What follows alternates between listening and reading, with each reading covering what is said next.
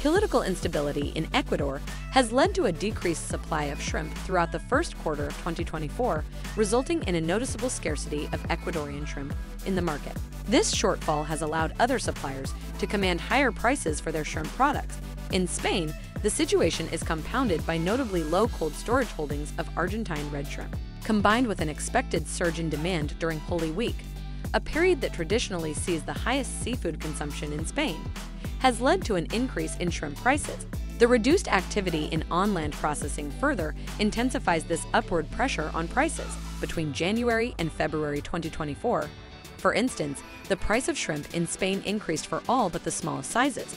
Adding to the complexity, harvest data reveals that despite record catches of Argentine red shrimp in December and January, February saw record lows, with landings taking a nosedive to a mere 4,400 metric tons. Landings typically remain low until June, then increase during the summer months and decrease again until December.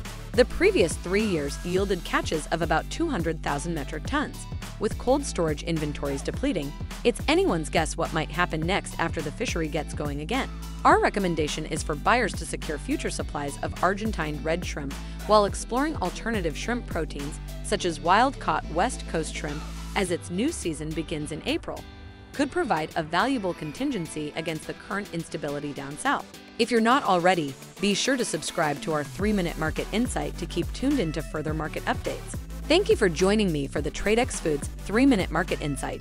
This has been Anna, reminding you to buy smart and eat more seafood.